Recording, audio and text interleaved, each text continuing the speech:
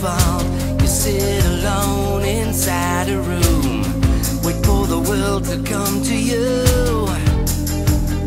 They never do.